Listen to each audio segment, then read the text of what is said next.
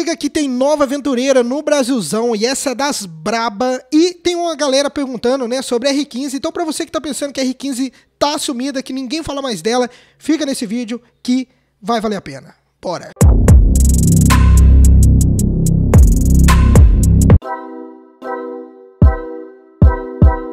Fala pessoal, sejam muito bem-vindos a mais um vídeo desse canal. Meu nome é Marlon, gente, é o seguinte, temos novidade no nosso mercado brasileiro chegando, tá? E é uma novidade de peso. Bota peso nisso, meu amigo. É um motaço, tá? E é na categoria Trail. Aí o Wesley, Wesley que é membro aqui do canal, chegou uma moto Trail que você queria, tá? Você vai ficar sabendo de tudo nessa moto agora. E também vamos discutir sobre a R15, que ninguém se fala mais dela. Ela sumiu, não vai vir mais. Cadê essa moto? A Yamaha deixou ela perder o hype. Vamos falar tudo nesse vídeo, beleza? E mais uma coisa, se tratando de moto, não dê bobeira, faça seguro da sua moto, não dê bobeira, pessoal. Aqui no Brasil tá difícil demais ficar sem seguro, tá bom? Porque, ó, o índice de roubo tá nas alturas, saiu um top 10 aí e a porcentagem só sobe, tá bom? Então, pelo amor de Deus, faça um seguro e mas também não caia na mão de qualquer seguradora, tá bom? Aqui, ó, corretor Santana. É muito bom você ter uma pessoa que corra atrás para você do melhor seguro possível para que você não seja né, enganado. Sabemos que tem muitas pessoas aí por trás de organizações que não, que não vale muito a pena a confiança. Então é sempre bom você ter uma pessoa de procedência te representando, tá? Corredor Santana, 30 anos no mercado, ajudando milhares de pessoas, tá bom? Então vamos falar do vídeo em questão tá? Bora! Beleza, vamos começar falando então da nova moto que chegou no Brasil. Olha só, Husqvarna Norden 901 Expedition Aventureira chega ao Brasil, saiba o preço, tá? A gente já vai saber do preço dessa moto já já. O modelo conta com suspensões ainda mais avançadas e pacote de acessório para longas viagens. A marca sueca acaba de inaugurar a segunda loja no Brasil. Olha isso, cara, show de bola, né? A marca acabou de chegar, tudo bem, mas vamos dar uma olhada nas fotos da moto. Geralmente eu não fico lendo muito site, não. Mas como é uma notícia muito quente, se vocês quiserem um vídeo mais naquela, naquela pegada, né, editada, com imagens e vídeo, deixa aqui na descrição, tá? E também deixa a sua opinião sobre essa moto, o que, que você acha, tá bom? Se faz muito sentido pro nosso mercado, enfim, tá bom? Mas com certeza será uma moto para poucos, né? A gente pode ver aqui pelo, pelo farol, né? A gente vê, olha, é uma, uma Big Trail das braba, raizona mesmo, ó. Suspensão zona, suspensão invertida, né? Parece que tem uma tecnologia aqui no protetor das mãos, né? Vamos ver, ela já vem bem equipada com protetor aqui de motor, né? Com um separador de alforjes aqui atrás, ó, tá? A moto é braba, né? Consequentemente, o preço também vai ser daquele jeitão, né? O sistema de iluminação é Full LED, como vocês estão vendo aí. A moto, mais fotos dela, muito bom. Caramba, a moto é linda. É na pegada ali da Africa Twin, né, é, Teneré 700. Alguns, né, falaram para mim que é na pegada da Teneré 700. Ó, ó, o escapamento embaixo do banco como deve ser. É uma trail raiz, meu amigo. Disco de freio duplo na dianteira, na traseira tem um disco normal, com certeza tem a tecnologia ABS desligável também. É uma moto pá, né, meu amigo? Não tem que dizer não, é uma moto zica demais. Vamos ver mais fotos dela, é, desse ângulo agora. Caramba, que moto impressionante, cara. E tá no Brasilzão agora. Vamos ver o preço, se vai ser impressionante também, né? Vamos ver o preço. E tá aí, Husqvarna. E agora, né, essa foto aqui, muito show de bola do Rafael Mioto aqui na matéria. E lendo mais a respeito, vamos lá. Tá, vamos ver aqui, ó. A Nota Expedition está equipada com sistema de partida a frio, além de manobras aquecidas, olha isso, ajustáveis, e o assento da, do piloto fornece aquecimento instantâneo. Caraca, meu amigo.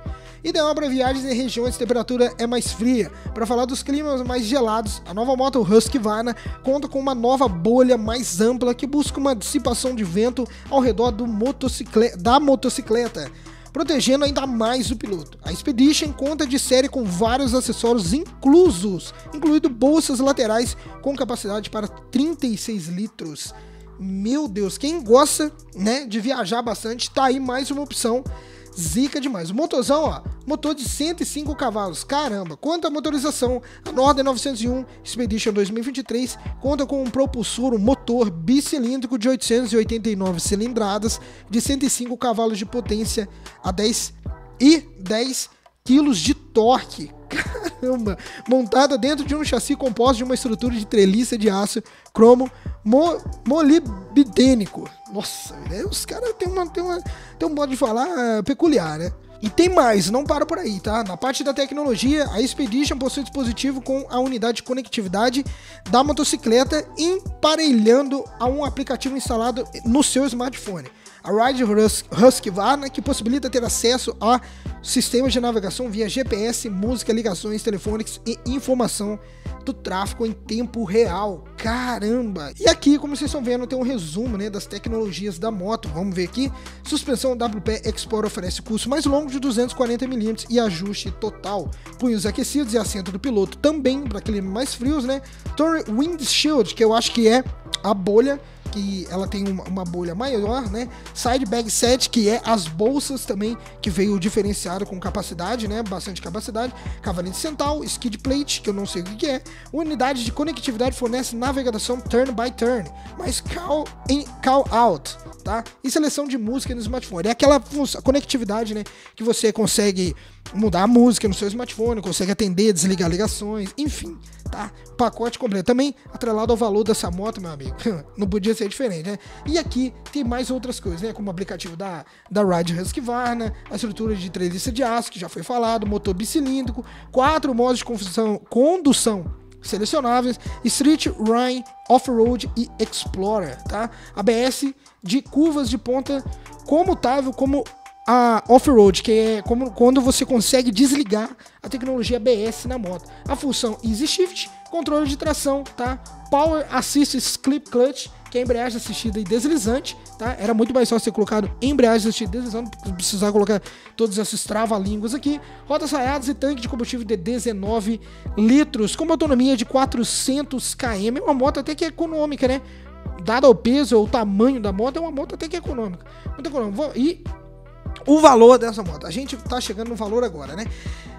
Galera, é uma moto que eu já tô, é, é, assim, adiantando pra vocês que não é uma moto barata, tá? E falando em valor, não esqueça de que aqui na, na descrição do vídeo estão todos os nossos equipamentos que usamos aqui no Garagem Notícias. E também a loja, tá? A loja tá para mudar, fique esperto que tá para vir uma novidade, ó muito boa, beleza? Vamos pro preço. Pro, o preço é de 169.900 reais, ou seja, bem acima das rivais como a Ducati Desert X, que sai por volta de 97.990. A nova Husqvarna chega ao país ainda importada com apenas um lote inicial, o que faz um produto se tornar mais caro.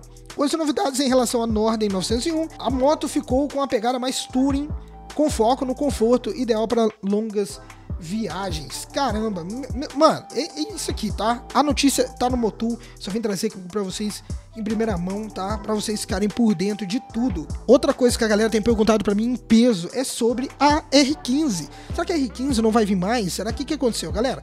A R15 ela ainda não foi, é, é, ainda não, ela não foi cancelada pela Yamaha. É um projeto que virá. Porém, aqui ó, segundo o Motu, tá? Vou trazer vocês de novo aqui, ó. Esse Yamaha R15 esportiva mais barato do Brasil mostra para que veio, tá? Então aqui não tem nada falando que a Yamaha não vai trazer mais. E a galera tá preocupada, ah, caiu o hype da moto, não sei o que.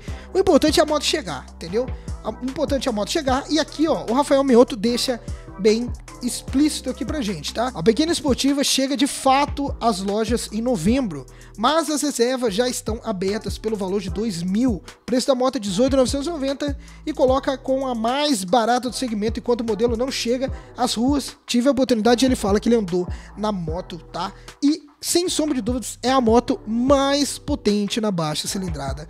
É, não é naked, infelizmente, mas é uma moto que tem o melhor painel disparado. Tem a moto é, cara, não tem o que dizer, a moto é fantástica, entendeu? Vamos ver aqui, ó, se o Rafael Mento colocou umas fotos. Vamos ver, ó, ó, ó a moto. Não tem, tá? Não tem moto melhor que essa. E quando ela chegar em novembro, a gente vai ver realmente se a Yamaha acertou, se ela errou, tá bom? Mas é uma moto que muita gente tá se perguntando, Marco, cadê a moto? Não vem nunca. Cara, galera, é novembro. Novembro, tá bom? Novembro a moto tá aí e como vocês podem ver é uma moto linda. Ó, bancão bibatido, na baixa cilindrada, meu amigo, tá? Não temos e vai andar demais. O único problema agora é em relação ao combustível. Vamos ver como que vai ser, né? E tá vendo aí, ó, a motinha preta na cor azul, é, prata com verde, né, se eu não me engano, e também, né, olha lá, o prato com rodas verdes e na cor preta, tá bom? Não tem foto dela aqui com painel, infelizmente, deixa eu ver se eu acho. Olha o painel dessa moto, meu amigo, não tem condição. É a moto mais completa que teremos por, por agora na baixa cilindrada. Não tem moto mais completa que essa. Olha o painel, indicador de marcha, tacômetro de forma de barra, medidor de combustível, trip A, trip B, enfim, a moto é. Sem contar que ela tem shift light também. Na baixa cilindrada que no Brasil não temos nada igual. Então, se você quer comprar, tá interessado em comprar, tenha um pouco mais de paciência que novembro vai estar tá chegando aqui. A galera perguntou muito para mim na live ontem e a moto até agora não teve nenhuma fala da Yamaha cancelando e não tem o porquê eles cancelar também. Tá? É intuito da Yamaha trazer, é interesse da Yamaha trazer, mas falta ter um pouco de paciência. Eu sei que a ansiedade bate a mil, mas é só ter um pouquinho mais de paciência que vai dar certo, beleza? Pessoal, então foi isso. Se gostou, deixa o like, se inscreva no canal e compartilha para geral. Beijo no coração e tchau.